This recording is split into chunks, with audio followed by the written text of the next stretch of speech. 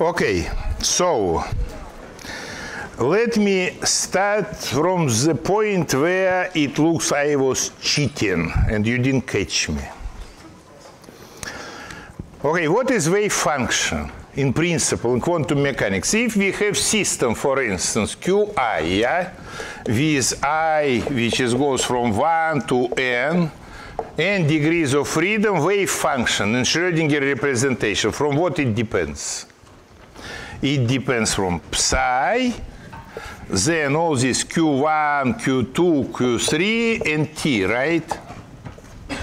Now, I told you that in quantum field theory, for instance, this Qi is replaced by the strength of the field or energy density at each point.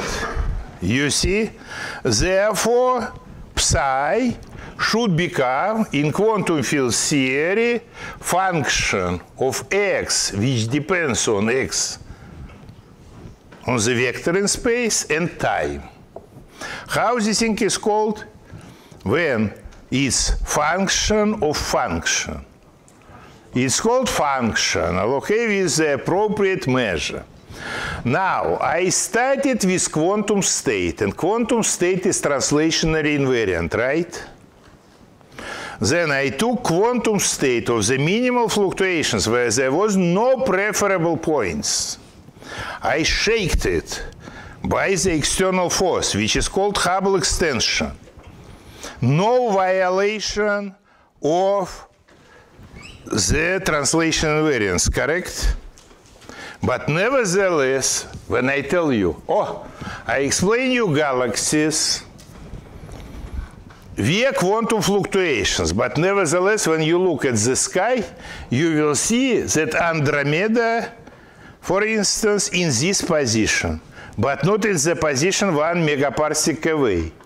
Then the question is how I managed finally to spoil translation invariance because there was no original reason for spoiling translation or breaking translation invariance. Of course, what I was doing, I was calculating some kind of correlation functions which reflects in generically translation invariance. But when I look at the sky, I don't see this translation invariance.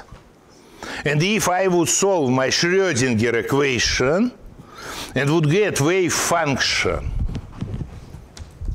for these inhomogeneities, it would be translationally invariant. So, who has answer?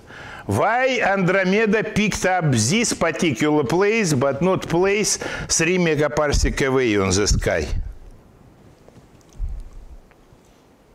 Yes? First of all, you are talking about a macroscopic system, and you are measuring it, and uh, when you measure it, you say that uh, it is, for example, in the position x1.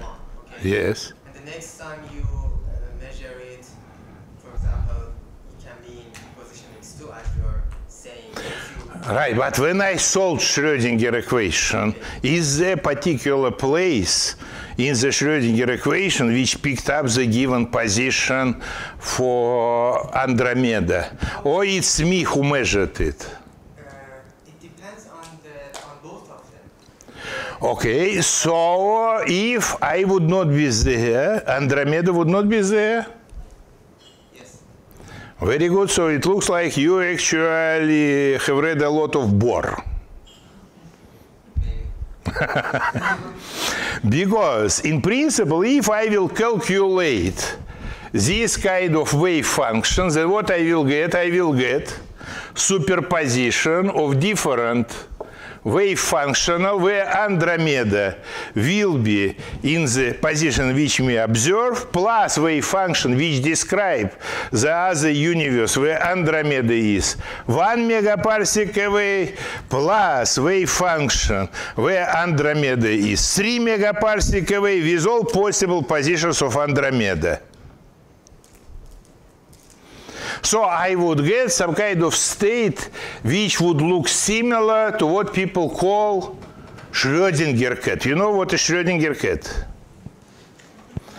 You see, you do not know, for instance, spin is up and or spin is down. when your spin, which is up, initiate finally the explosion of the bomb in this room where cat is located and spin down does nothing, then when you take your equation, Schrodinger equation, solve it, honestly solve it, assuming that it's applicable also to all system, then you are getting for the cat some kind of state like this one plus like this one. So cat is in between earth and sky. And nobody has seen cats like this one. Also, superposition, which I derived now, okay, which is confirmed by all statistical properties, is much more serious than just for cat. Why? Because it's superposition of all possible universes where galaxies are located 3 centimeters, 10 kilometers, 100 megaparsec away from the position which we see it. Yes. Okay, but uh, who says that the probability of all of them are equal? Oh, if I calculate, for sure I will find that probabilities, if you count probabilities, if you count coefficient in front of them, are the same, because this I can calculate. This I can calculate for sure. And if it would not be the case, of course, if probability for one position would be larger than, for one component much larger than for the other components, yeah, then of course it would be incompatible with translation invariance. It's a complex problem. You should also consider the initial condition. I took initial condition vacuum fluctuation, t- translation space, translation invariant state. And I applied my theory, okay, to this initial quantum state, and then finally I got this kind of stuff which looks like Schrödinger cat.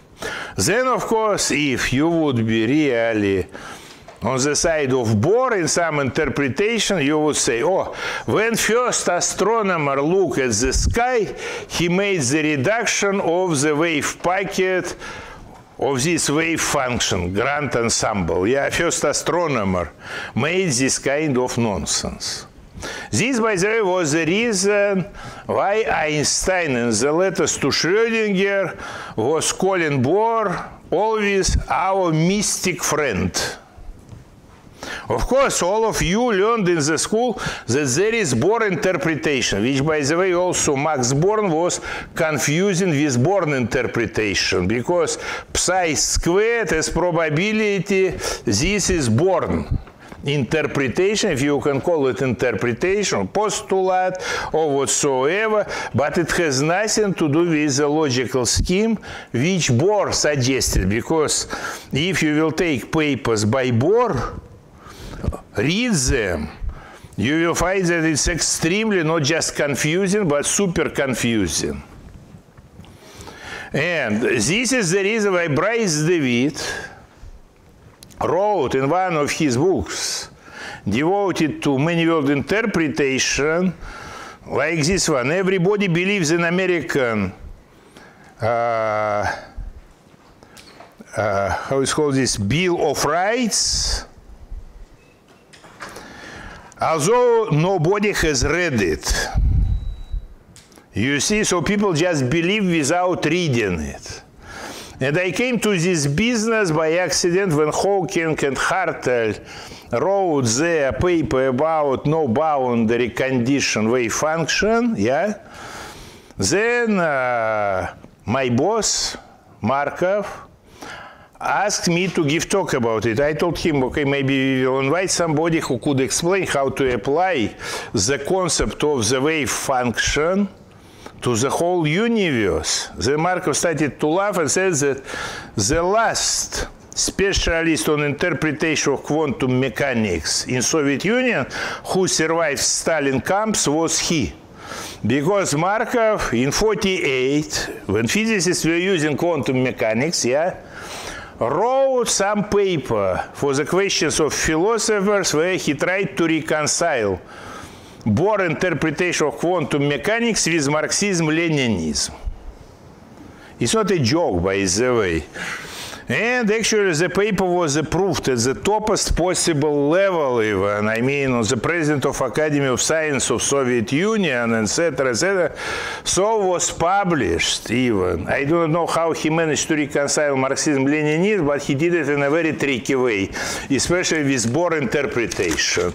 But nevertheless, philosophers didn't like it, and therefore, next day after publication of this paper in 1949, 48, yeah, some other, something like this Russian newspaper, Pravda, it's okay, Soviet Union version of New York Times, yeah, which I like as I explain people here.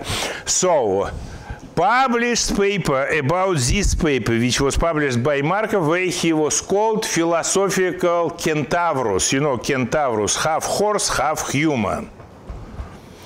Of course, after this publication, as Markov wife told me, it was 1948, they were expecting that in the night will come some black car which pick up them, and then after KGB, after Lubyanka, they will move to work for the Soviet Union in concentration camps. It's not a joke.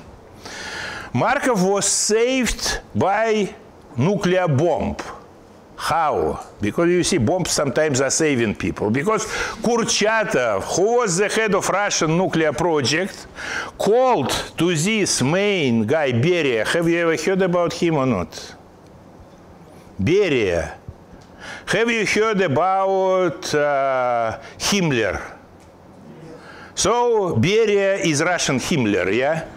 If Stalin is Russian Hitler, yeah? So so he was the head of auto, not only actually, he was the head of KGB, main executor, or better to say the head of all executors. So Kurchatov called this guy and told that if these philosophers will not take their hands away from physicists, they cannot guarantee that the bomb will explode.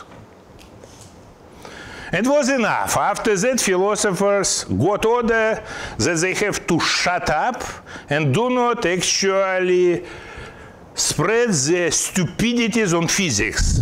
Therefore, philosophers took as a victim genetics, which was completely destroyed in Russia, as you know, thanks to the philosophers. Therefore, one should never confuse philosophy with natural science and ideology with natural science because natural science, in distinction from ideology, goes about all these things. So Markov told me that I have to learn myself all these kind of things. So I started to learn, and what I discovered, I discovered many interesting things, okay? Because when I was student, I learned that Einstein was unable to understand quantum mechanics, as you told me. Therefore, he didn't accept all these things. He was coming with all annoying arguments to Bohr, etc., etc., etc. But what I discovered finally, the situation was reversed. Besides of Bohr, nobody from those who participated in invention of quantum mechanics was happy with Bohr interpretation. Bohr just took the new generation who had no idea what they are talking about and became leaders there. But Schrödinger was writing that if he would know what would be the consequences of quantum mechanics, he would never write his Schrödinger equation. Heisenberg was writing that now, instead of describing objective world, what we are doing, we are describing our knowledge about this world. Why they were writing all this kind of stuff? And now, by the way, after that, the whole thing actually went down somehow to cool down. Nobody was paying attention, but now interest to this topic appeared again. Thanks to what? What do you think? Quantum computing and quantum optics. So people started finally to study the foundations of quantum mechanics, which he needed to study in the school. And quantum mechanics actually is not so different from classical physics. It's different in two respects. Because actually I spent on this topic, I do not know, three or four years without publishing anything because there is nothing to publish. Everything is written. For instance, in von Neumann book, which was published in 1932, and which is called Mathematical Foundations of Quantum Mechanics. So you have to read it. It's difficult at the beginning but you can skip some mathematical stuff. At a certain point, it starts, it becomes like detective. And then if you will open the last page in this book from 1932, you will find prototype for all theory of non-demolition measurement. But let me explain you what is the problem and it will be enough. Of course, this argument about astronomers who looked at the sky and made the reduction of the wave function of the universe sounds a little bit funny, yeah? And Thibaut Damour, by the way, recently published some popular book, maybe you have heard about it, Mystery of Quantum Mechanics. It's in French, but it's translated already in German, it's translated in Russian, the cartoon books with the pictures. It's precisely about many world interpretation of quantum mechanics, you see? And in fact, actually, the main problem of quantum mechanics could be understood if you would consider very, very simple experiment, namely Stern-Gerlach experiment. Because then you will get everything, including all this kind of notion with which people are operating right now, like non-separability or entanglement, decoherence, etc., etc., etc., etc. Have you ever heard how people explain two-slit experiment with detector and without detector? Vector potential. Huh? Vector potential stuff. No, no, it's a Aharonov-Bohm, not this thing. I mean when you have detector which registers through which slit electron passed, and you have no detector. In one case you are getting double slit experiment, yeah. Have you tried to understand it or never? In fact, actually, Leon Cooper wrote that everything can be described in terms of the Schrödinger equation. Because you know that actually, thanks to this quantum mechanics, I made a lot of not only not only enemies, but a lot of friends. I was discussing this with Murray Gell-Mann, with Leon Cooper, with Ginzburg, uh, with Markov, of course. Cooper also came to the same point. Then if you go in the history, you can read a lot of interesting exchange of letters between really smart people like Einstein, Schrödinger, then uh, not Max Born, but uh, who else was uh, in the company? Heisenberg also, okay, but he was not participating. Einstein, Besso also. Very interesting exchange of letters. And everything was about the notion of reality, because I am sure that you all convinced that existence of our world doesn't depend on our existence after we all die, world will be the same. Okay, right? Or not? You said no. You said that quantum mechanics is not describing of our is not describing our world. It's just some kind of things which allows us to relate certain things about world. And without observer, it doesn't make any sense. Yes, I'm just saying that the existence of something, the reality of something, is a notion that should be talked about when there are at least two objects. I mean, when there is only one object. But how I can be sure that there are two objects? For instance, me and you. I could think that you are my imagination. Imagine that I am solipsist. How can you prove that you are a separate object but not my imagination? Okay, I can't prove that because you can't believe that. No, no, no. But, but look, actually, let's vote. Who here thinks that when we all die, then quantum mechanics become completely useless and will not be describing anything? And quantum mechanics is something what just describes or useful for our practical purposes? One, who doesn't think so? Who thinks that quantum mechanics describes reality irrespectively of our existence? Who is undecided? And who doesn't care?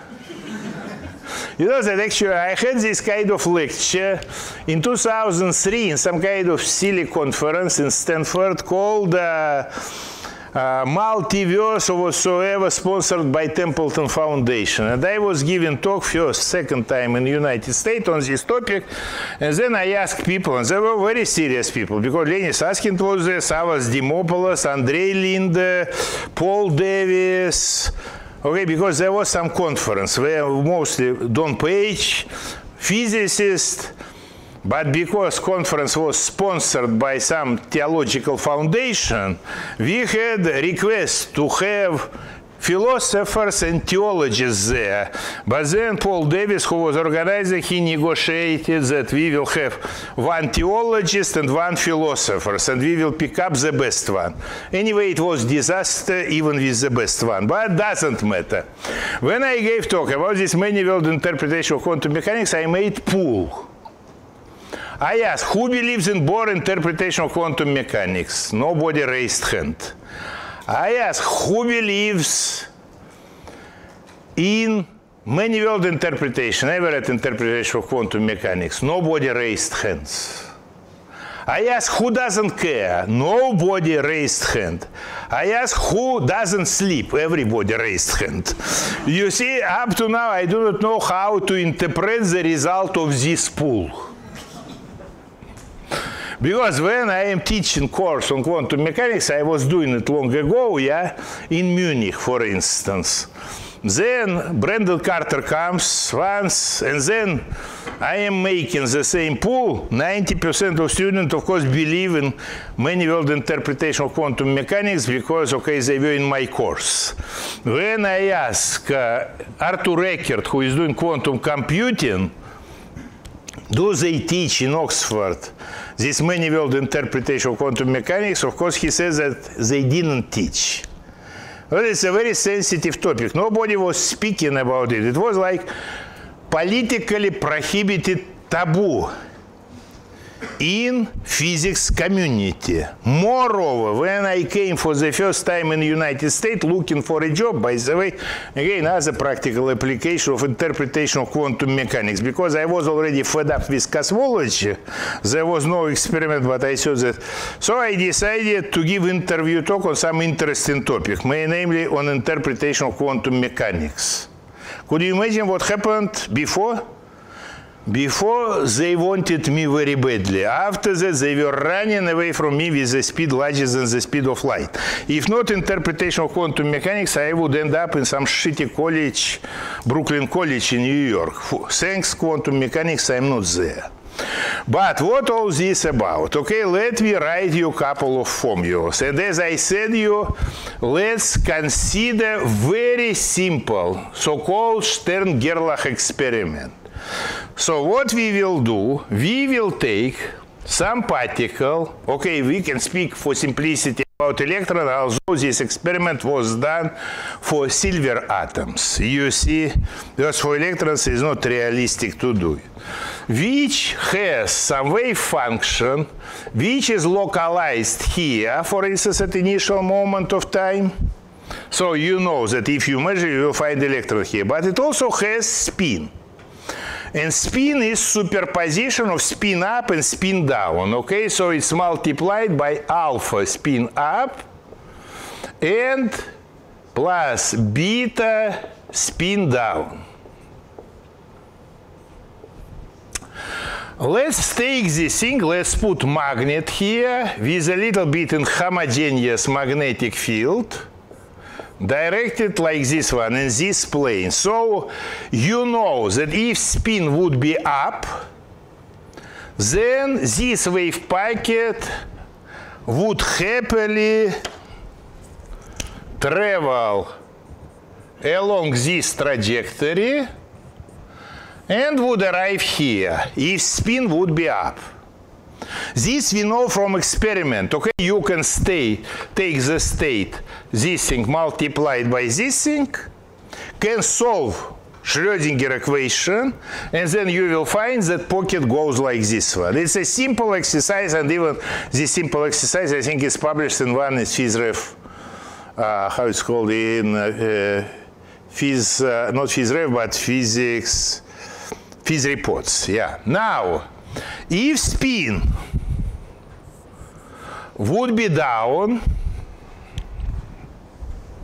you could again solve this equation and you would find that this packet would go along this trajectory and at some point would reappear here.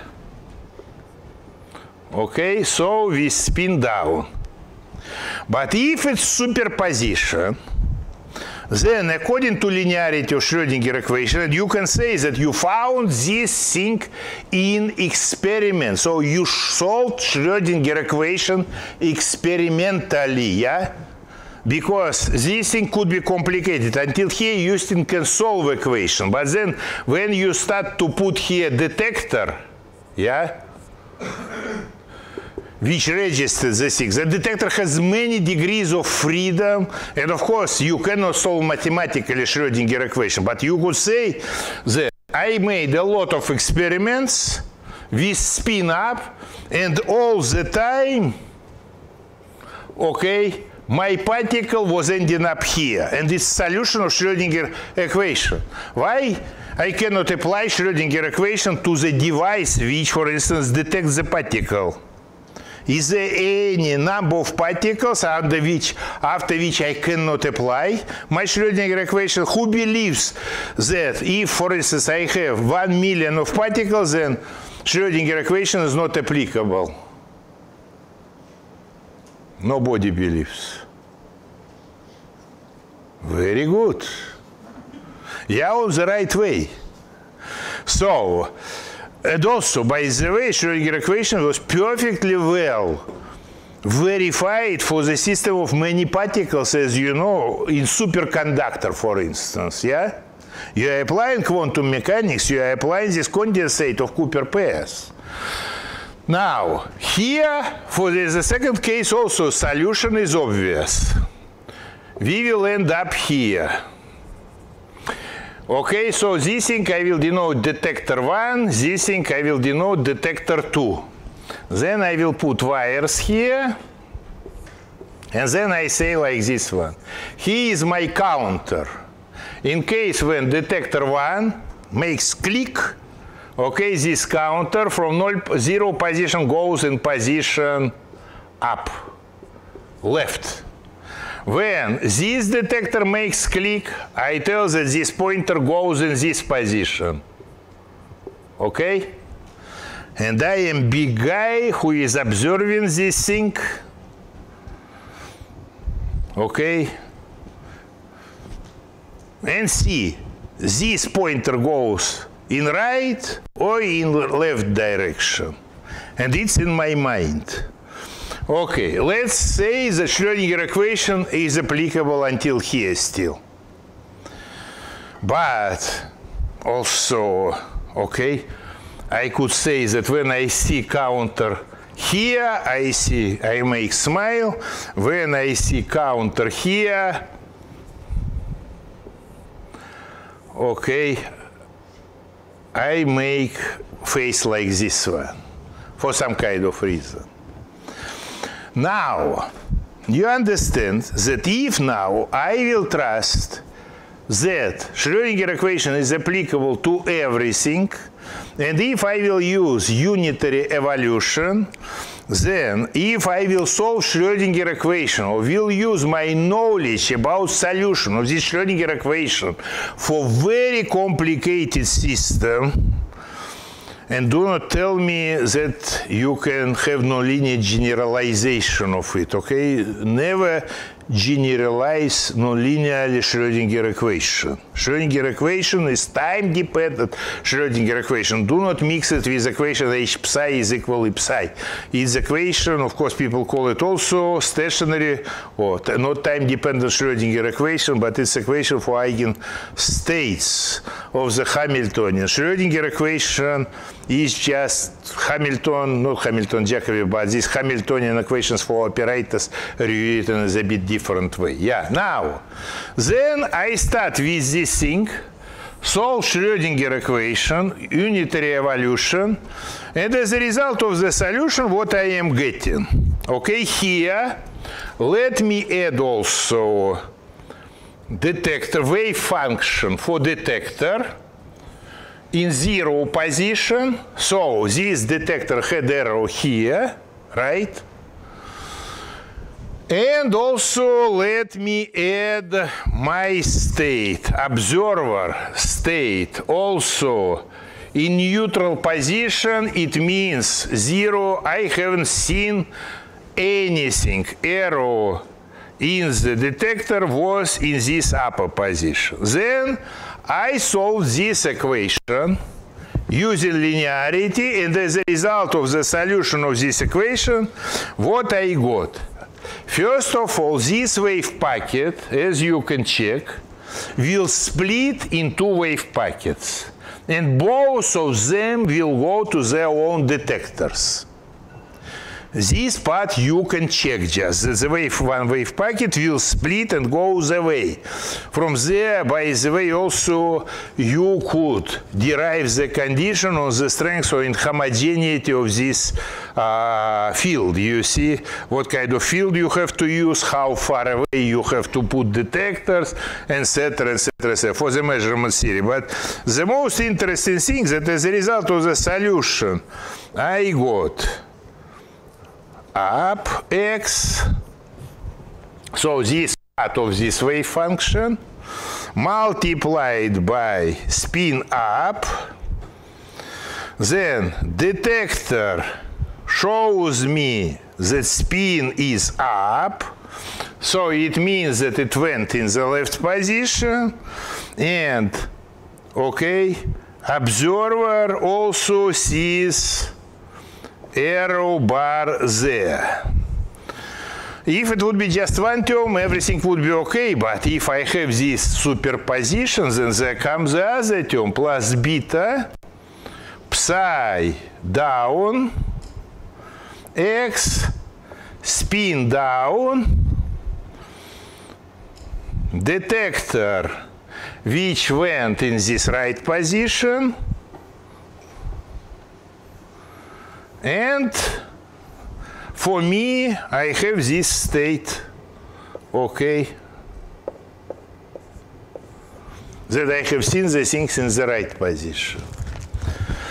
And now you can tell me, first of all, I see that before my observation, I could write wave function as a product of wave function which describes the position, spin, state of the wave function, then detector state, observer state, and everything was product of the wave function of the separate system. Now, after all process happened, nothing already interacts anymore, but wave function I cannot write anymore as a product of wave function if I switch off all interactions.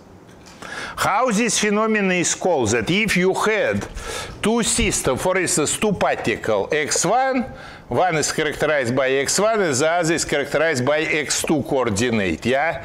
You had at the beginning psi, which depends on xy, psi, which depends on x2, it was initial state. Then for some time these two particles were interacting, and then you got that psi depends on x1, x2, and T after long eh, stop to interact, nevertheless, you cannot write this thing as the product of two-way function. How this phenomenon is called? Entangled state. And it's called non-separability. You see, actually, It was one of the most amazing phenomena which people discovered and Schrödinger, I have read recently, wrote several papers on this non-separability. He wrote that how it can be. I had two independent particles.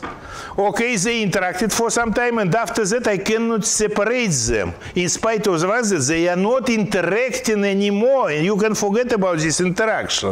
It, Wigner's friend, Wigner's friend paradox. It's not paradox. You see, it's solution of Schrödinger equation. But it calls, it actually means that the state becomes non-separable. You see? The other thing, you see here my state. The same as Schrödinger state.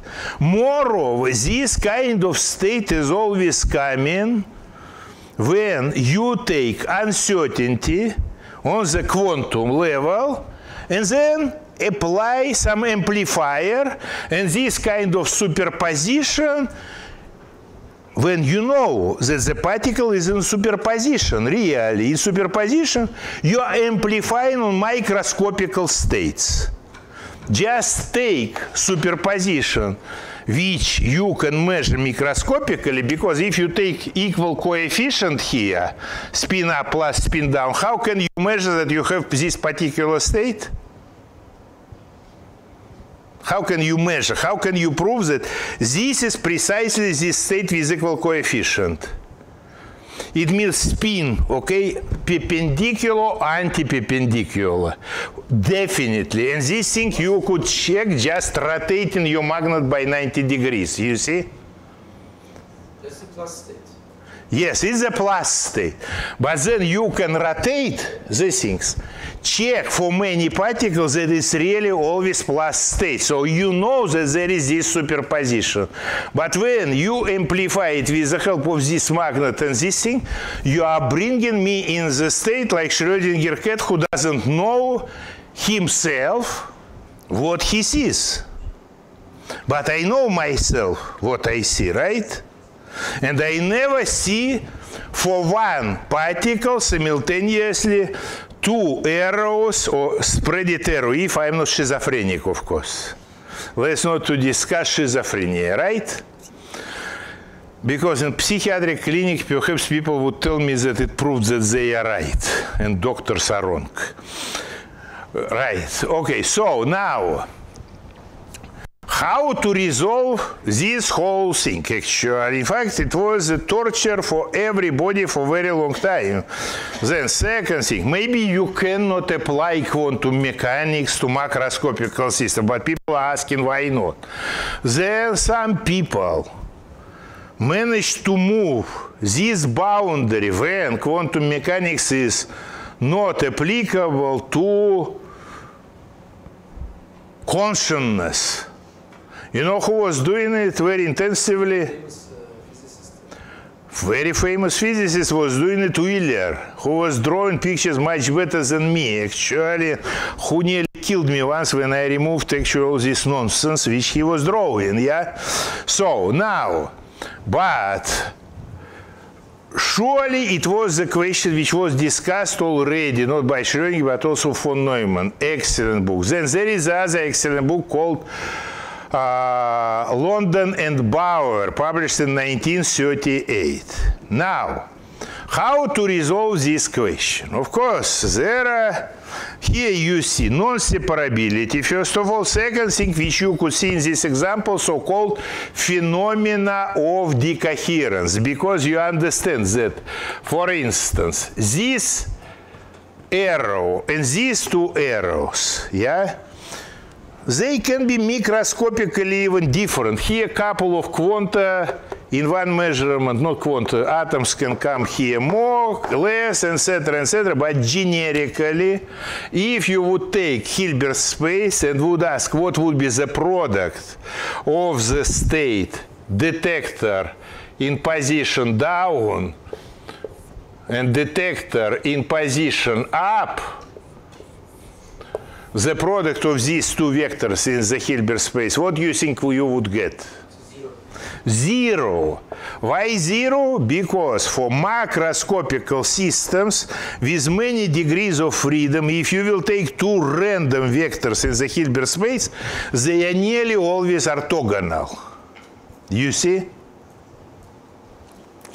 It's very different than three-dimensional space. But here, Hilbert space is like vector space with huge number of dimensions.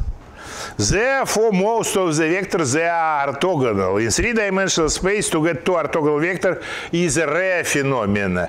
In this 10 in power 20 dimensional space, to get two non-orthogonal vectors is really a phenomenon, exception, you see?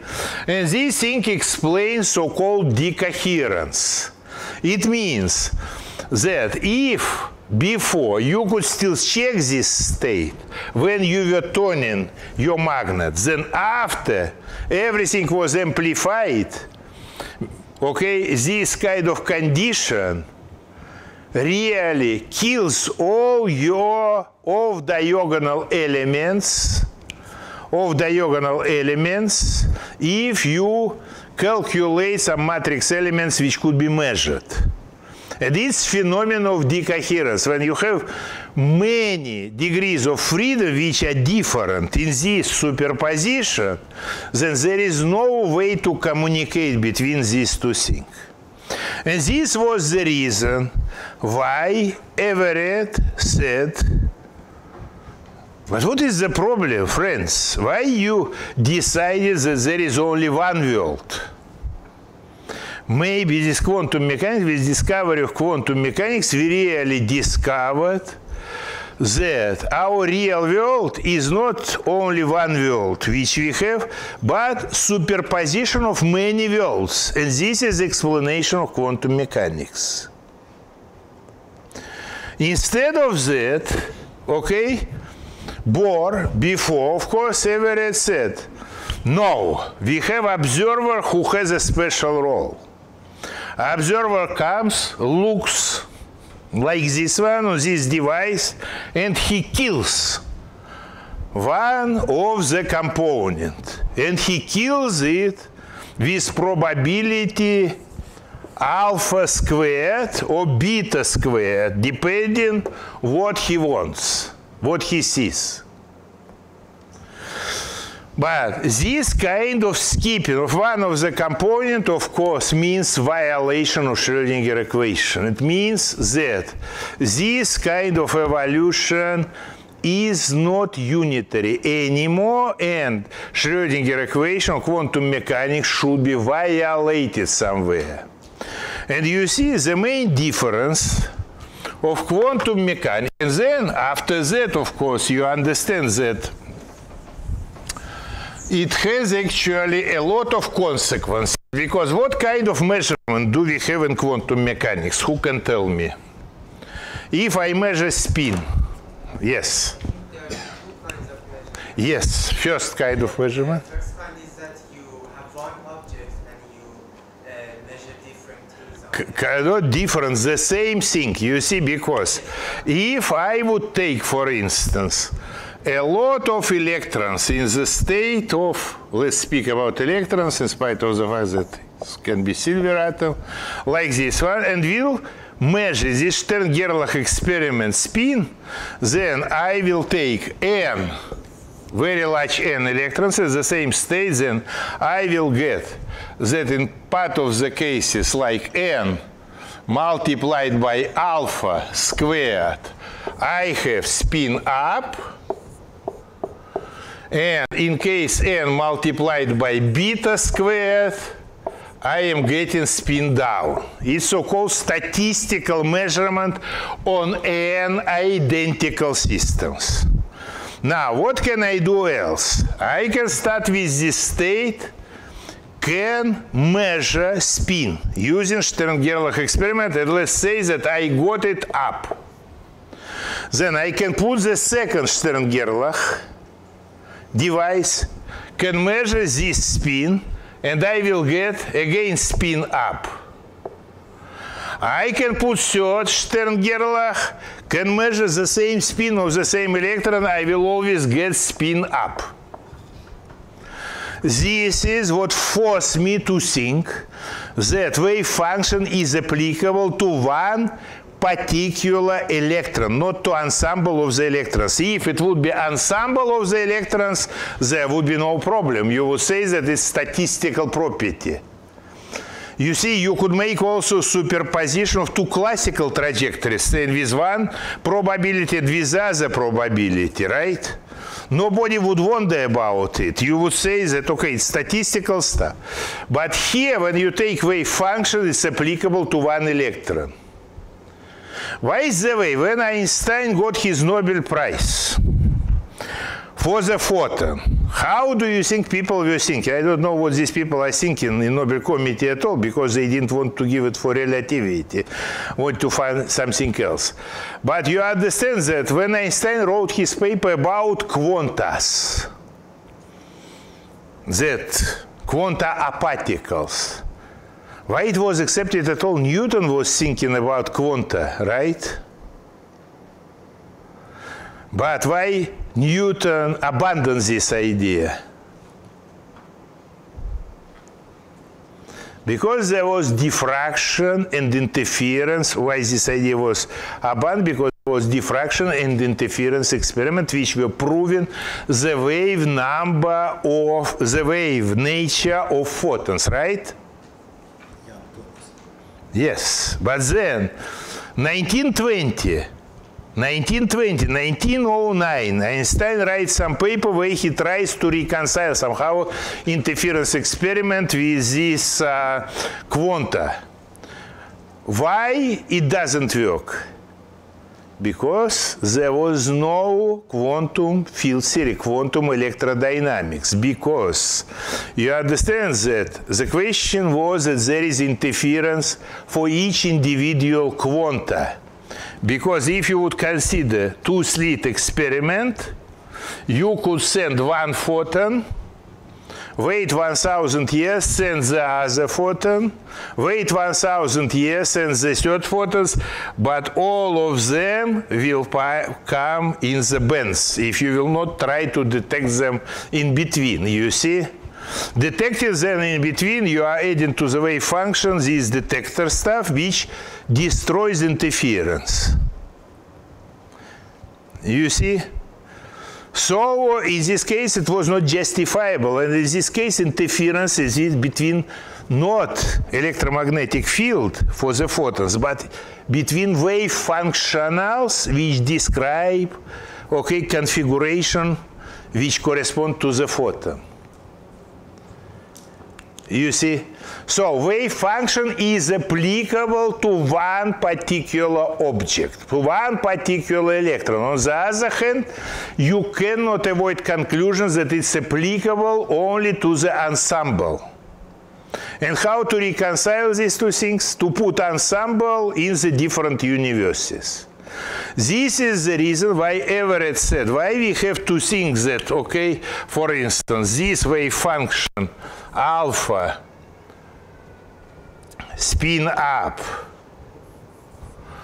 plus beta spin down okay go according to this Born rule with probability alpha squared in the state spin up and with probability beta squared to the state spin down, let's think that both things are real. And when the difference between two universes is an essential, you see interference effect between two universes in which which are microscopically different and which explain in fact this kind of fantastic paradoxical phenomena of quantum mechanics when universe gets separated, becomes macroscopically different, then you cannot see interference. Why? Because of decoherence. And this is one of the main headache for quantum computer to resolve the problem of decoherence. So in other words, interaction between the universes not interaction, but decoherence between the universes. How could you think how quantum computer is working? Okay, all these guys who are explaining everything about quantum computing are not giving you the clear vision, which is very obvious just as this Everett approach when you think about all other universes like they are coexistent and can interfere. Of course, at the moment when decoherence is very strong, you could speak effectively about collapse of the wave function, but who cares? You see, you don't need to violate main principle in this case, it's better to preserve these extra things. About quantum computer, you could think as about many classical computers who are working in the parallel universe, but from, for instance, if they are working in n universes, you are allowed, according to the laws of physics, from each universe to pass only one divided by n amount of information which you would get with the help of your classical computer. What is quantum algorithm? To pick up the most relevant part of this information and bring it in a certain universe. Let me give you an example. What do you think is the most known algorithm, quantum algorithm? Shor is for those who wants to rob the banks. Yeah, I understand. But Shor algorithm is based on some other algorithm for determination of the period of periodic function.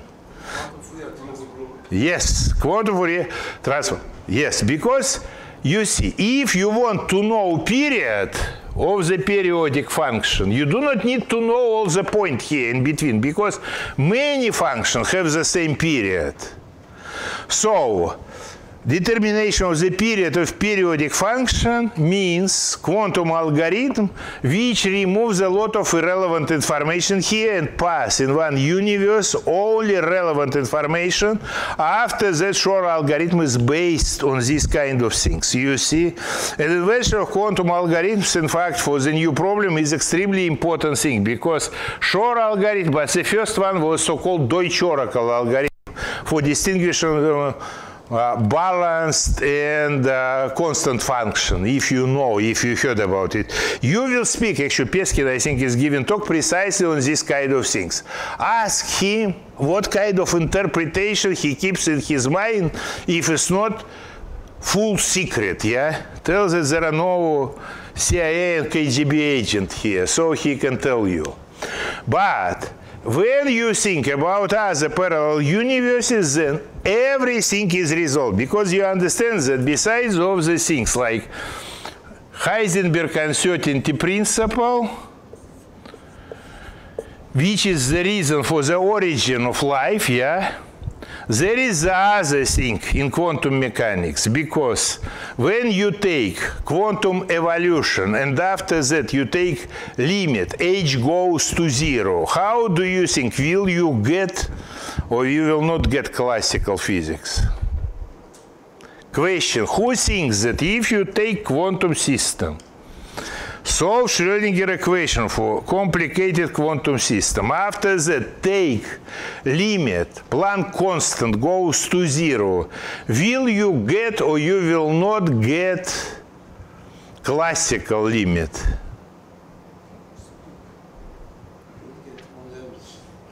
No, on average impossible. If you have Schrödinger cat, and if you produce because of H Schrödinger cat, okay, you will not kill when you take h goes to zero one of the members of this superposition. Ehrenfest theorem is no Ehrenfest theorem is complete nonsense in a sense how it's written because you write expectation values, but you understand that, for instance, when you write an Ehrenfest theorem something like this one expectation value, you have to be sure that dispersion is not very large. And before I will finish, let me give you a very, very super simple example which demonstrate you everything. You see? Uh, why many world interpretation is much, much better than anything else.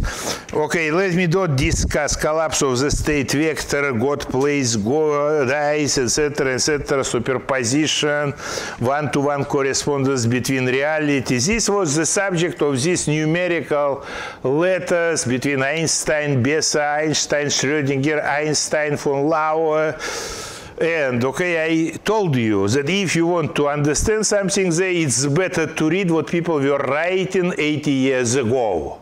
Because what they are writing right now is a little bit lower intellectual level. What let me say it very politically correct. In fact, actually, it's tremendously low because these people who are writing do not want to learn anything. Yeah. But how to get classical limits? This is actually a very good example which will show you that you can get everything but never use Ehrenfest theorem for that. Let's take one kilogram ball. Okay? You have nothing against one kilogram ball. Let's take it stable at least for 1000 years. Then you know that it's described by classical physics, right? But using some kind of device, like for Schrödinger cat, we can prepare wave function for this ball, psi, which depend on x, in the following state. Here is x1, here is x2, one-dimensional motion. One ball. Of course, for one ball, to get classical limit, one kilogram, you would tell me why I wouldn't take wave function just like this one, which is concentrated here, and of course then this expectation value satisfies classical equations, correct? Correct. With then you tell that this ball is stable for one billion years, nothing happens with him, one kilogram, but then in one million years you will find some little problem with this state. You know what will be the problem? You, yes, wave function will become like this one. And nothing should happen with the ball on one side. On the other side, wave function, okay, dispersed like this one. How you would interpret it? It looks a little bit strange.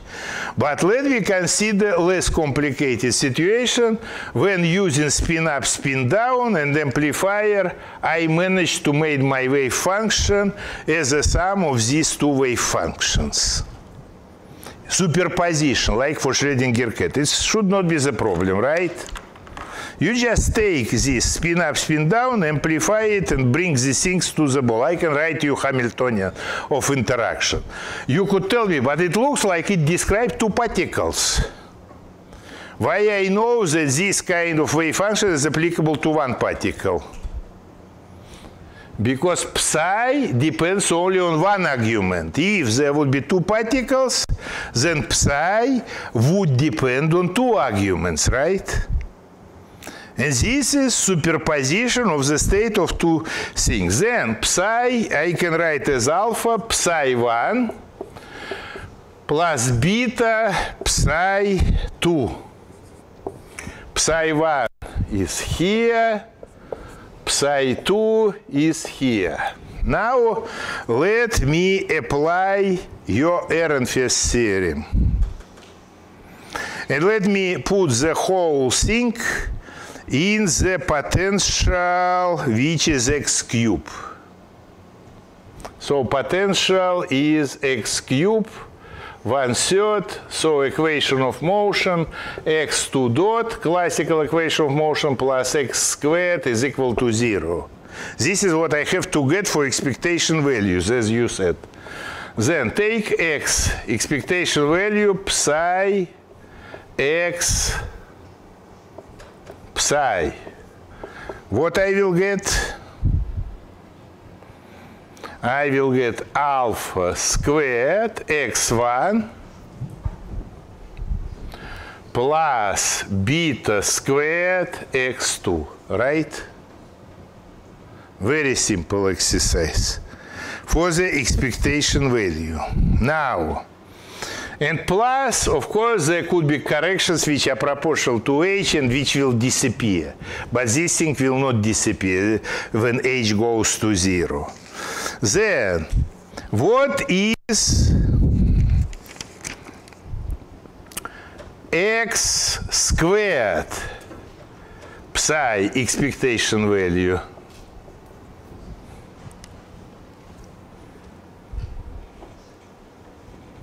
Hmm?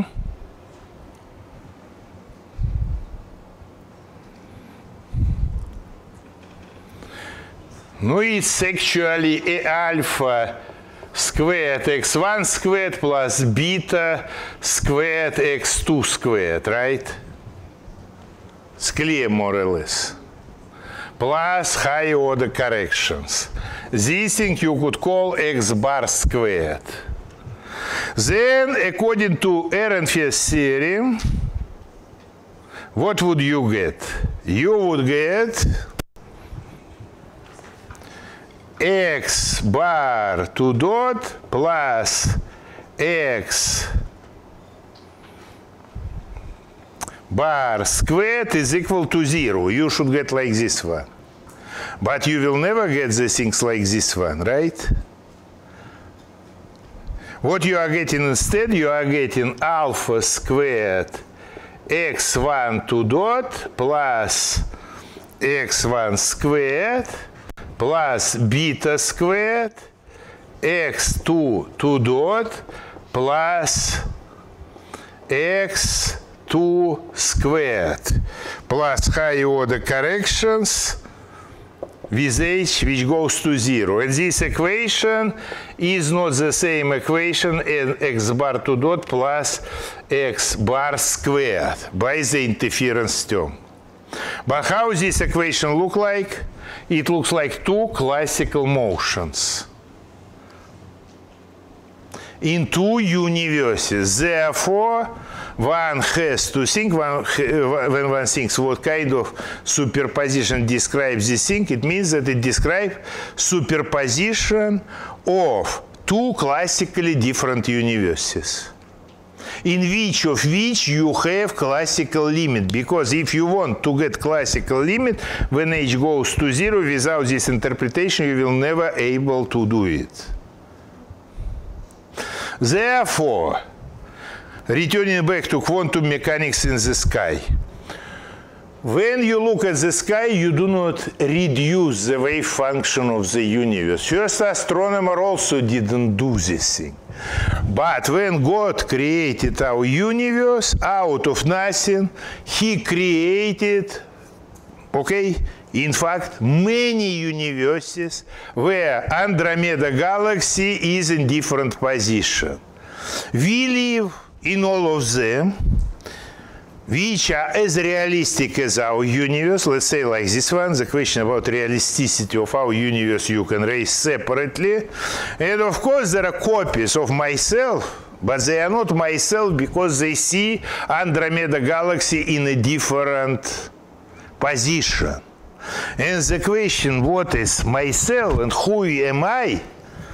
Okay, I am some computer, let's say with memory and the other similar computer with a little bit different memory also will be created somehow and quantum mechanics help to do it. So you see, quantum mechanics allows us not only to save our lives and simultaneously have iPhones functioning, but also it allows to create us in all possible variations, in good and bad. But if you will take, you can, by the way, after that, after you will take this kind of many world interpretation, first of all, you can get classical limit of the theory when action goes to infinity, typical value Planck constant goes to zero, you can have one-to-one -one correspondence between description of reality and mathematical symbols of your theory. So we know that quantum theory describes world irrespective of the observer, and we are nothing more than just little robots there, not playing special role, yeah? And the third thing, actually, all kind of logical inconsistencies are dropped down and you can derive even this probability rule, which will be valid in most universes. You don't need to postulate it, but I cannot actually do it right now because Not because only you are tired. About you I care, but not so much as about myself.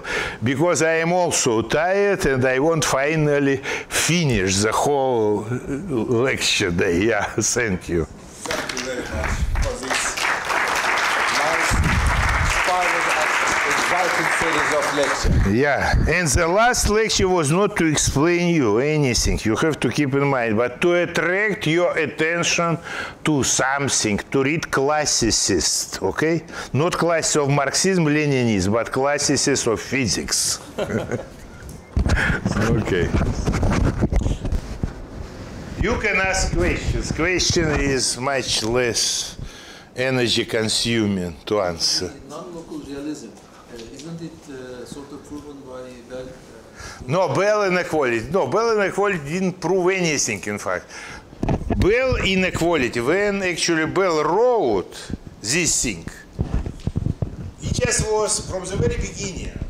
All this kind of interference experiment in quantum mechanics showed when you use Bell inequality that it's hopeless to try to make theory with non-local with local hidden parameters, yeah?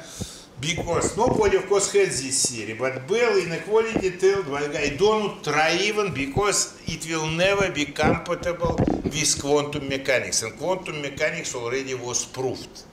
Quantum mechanics is proved by thousands of the interference experiment. You do not need to check Bell inequality separately. I'm sorry. Although some people think that they need to check it once over, it's 1,000 first time checking of the same interference phenomena which we have actually in this kind of simple Stern-Gerlach experiment. You cannot even imagine how many paradoxes people brought there.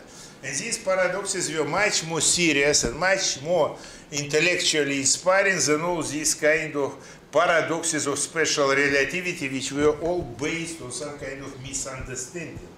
Here, this interpretation of quantum mechanics, okay, this kind of obtaining of superposition of macroscopical states, which nobody has ever seen in our life, yeah?